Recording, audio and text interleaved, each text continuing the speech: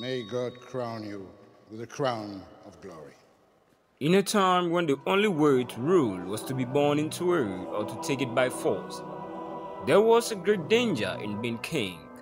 The moment a ruler took his seat on the throne, his life was in jeopardy.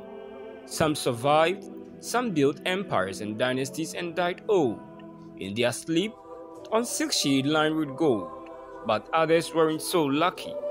A handful of rulers only ever managed to keep their power for few days or even hours, and left behind nothing but the incredible tragedy of their brief lives. Here are top 10 most shortest reigns of rulers in the world history.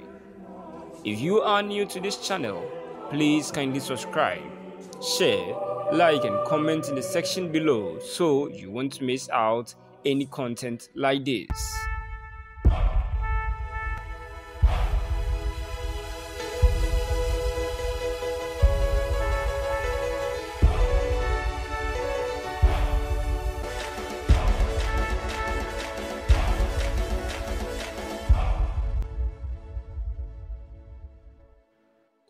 Number 10.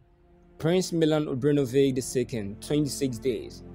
Prince Milan Obrenovic II ruled Serbia for 26 days, and according to most accounts, he didn't have any idea that he was in power. He was sick in his entire life. It seemed to be a family case. He was his parents' sixth child, but the first who had been healthy enough to survive childhood. By the time he turned 20, he was completely bedridden.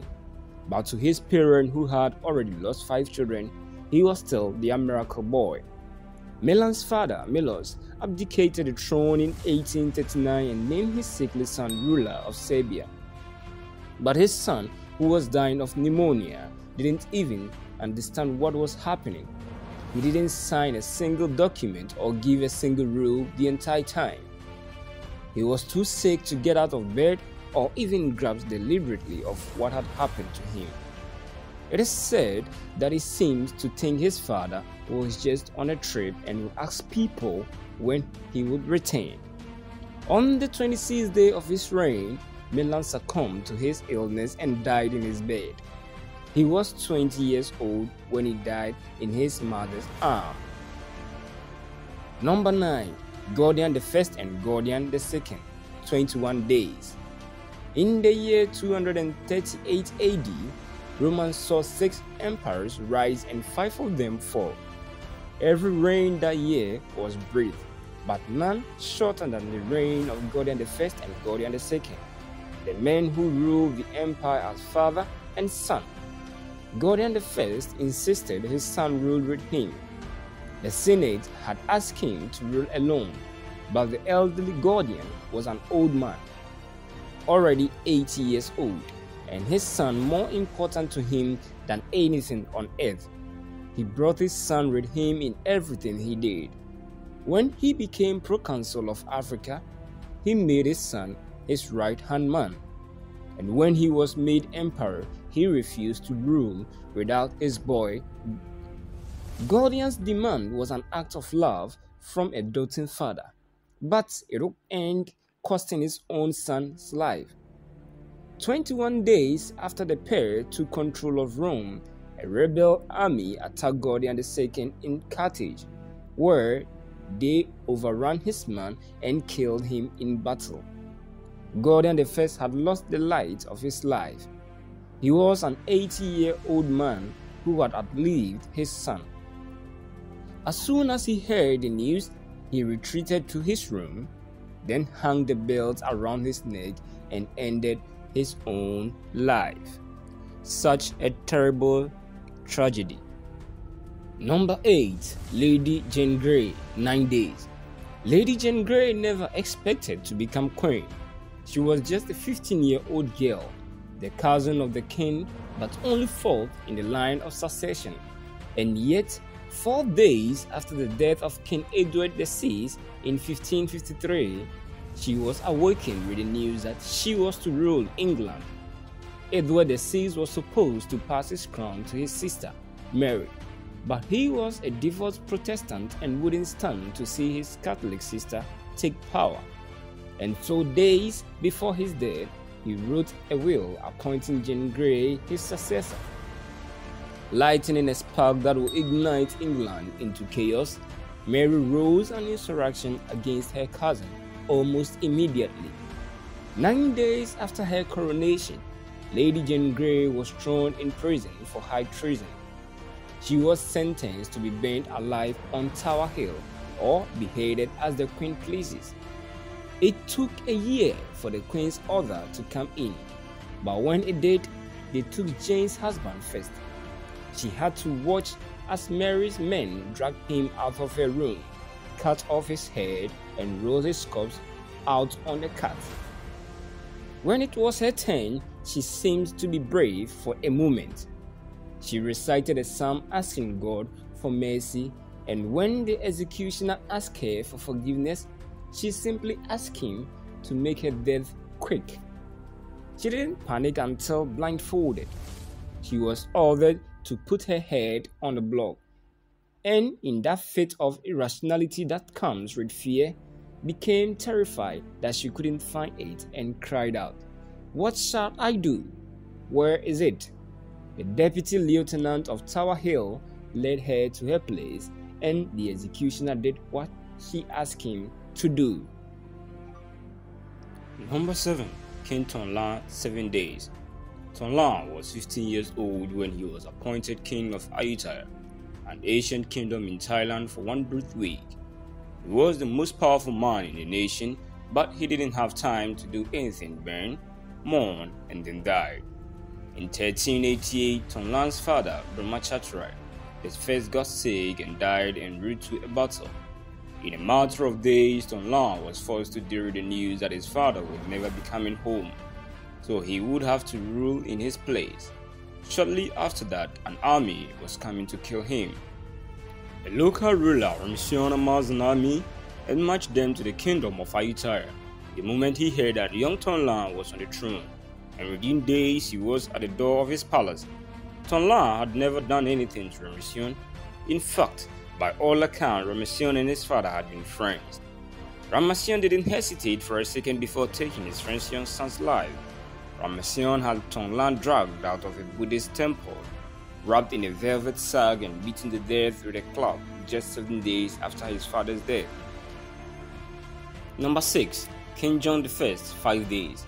King John I is the only French king that spent his entire life as the uncontested ruler of France. But he was only king for 5 days. King John I was the only male son of King Louis X, but when Louis died on June 5, 1316, he was still in his mother's womb Rather than complicate the line of succession, the French rulers decided to wait until John was born and make him king. And so, from the moment he was born on November 5th, he was a sovereign ruler of France. King John I, however, lived in a time when child deaths were rampant.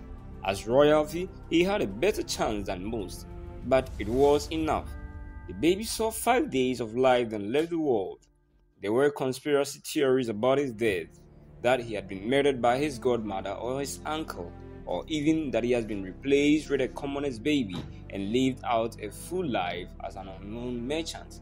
But there is no proof that any of them are true. Number 5. Dipendra of Nepal, 3 days. One of the shortest reign happened just 22 years ago. It was a brief but horrid reign of Dipendra of Nepal the boy king who massacred his own family. On June 1, 2001, Dipendra arrived at a family party so drunk that he could barely walk and ready to fight.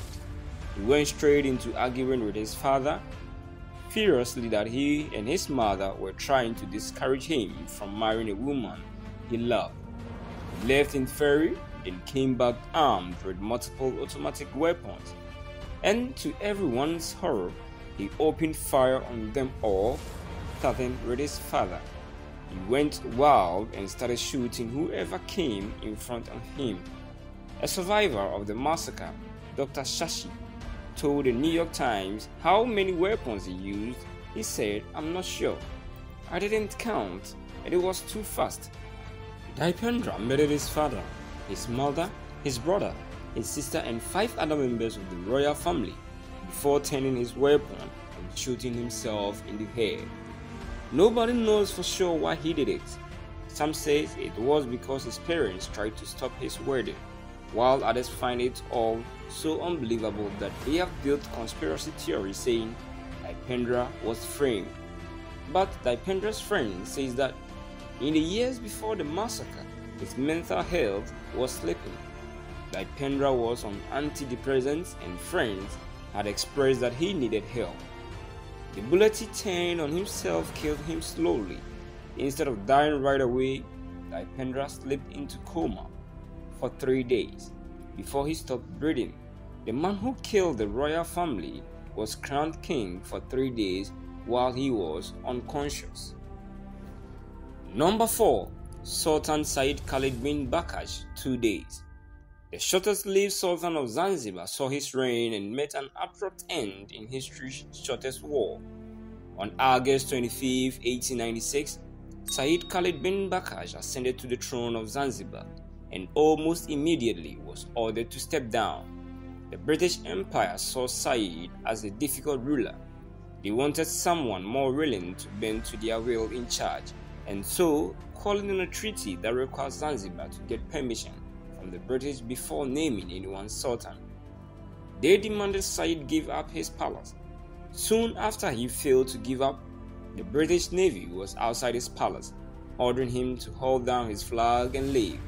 They gave him until 9 o'clock on August 27th to comply, or the palace would be destroyed. When Said refused, the British opened fire. For about 38 minutes, they shelled this palace, engulfing it into flames and killing 500 people in the process. Before the Sultan's men surrendered, it was the shortest war in history, and with it ended on the shortest reign in the history of Zanzibar. Number 3. Minshinsaw, 18 hours. Minshinsaw spent his life in exile.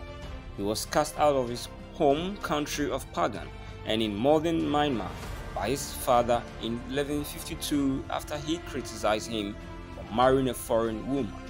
But even though his father had kicked him out, he had never stopped working to impress him. In exile, he took control of the land he had settled in and made it more prosperous than it had been before. He set up dams and canals that tripled their harvest and developed a focus on education that drew in some of the greatest minds. But when his father died in 1167, Minshinsaw didn't hesitate to take up his responsibility to the people of Pagan. He left his land behind and returned to what had once been his kingdom to take the throne. He returned home where his younger brother, Narathu, pronounced him king. What Minshinsaw didn't know, though, was that Narathu was after the throne. He had already smoothed his father in his sleep with bedsheet Minshinsaw didn't make it through the night. While he slept, his brother poisoned him, wiping out the last person standing in the way of the throne. Number 2. Tsar Michael II, 16 hours. Michael II woke up on the morning of March 15, 1917 to learn that his brother had abdicated the throne and named him Tsar. It wasn't a great gift, in 1917, the Russian Revolution was already in swing, and Michael knew no empire would last long. And so he did what every person on this list ought to have done. He gave up the throne. Michael declared that he would only take power if he was elected by universal suffrage and stepped down within 16 hours of being proclaimed Tsar. Then he returned to his villa and hoped for a simple life. It didn't work out. He was arrested shortly after abdicating the throne and kept on house arrest for a year. Then on June 12, 1918, a member of the secret police named Gavril Myasnikov broke into his house, forced him into a carriage, rode him out into the forest, and shot him. Michael's secretary and closest friend, Nicholas Johnson, was dragged out and shot with him. Johnson was shot first, when they shot Michael, he was reaching out to his wounded friend, trying to give him comfort as he died. Number 1. Empress Yang less than 5 hours. Nobody knows Empress Yang's full name. Nobody ever wrote it down. All that is recorded was that she was the only child of Emperor Xiaoming. In that for a few hours in 528 AD, she ruled China. She was never anything more than a puppet in her grandmother's game. When she was born, her father was already in ill health, and her grandmother, Empress Dowager Hu, was determined to stay in power. And so, to make sure the succession would fall to baby Yang, she told the world that the baby was a boy. Empress Yang was only 50 days old when her father died and she was named ruler. And immediately her grandmother used her power to replace her with another child she could control, a three year old named Yang So. The plan worked out in a sense, but it infuriated the nation. The people revolted against Empress Dowager almost immediately. The babies she manipulated were killed with her. Empress Dowager and three-year-old Yun Su was dragged out of the castle and drowned in the Yellow River, and everyone connected to her, some 13,000 people in all, were slaughtered in a horrific massacre. Only 83 names of the 13,000 killed were ever recorded. We can say for sure what happened to Empress Yang but Emperor's little girl was never heard from again.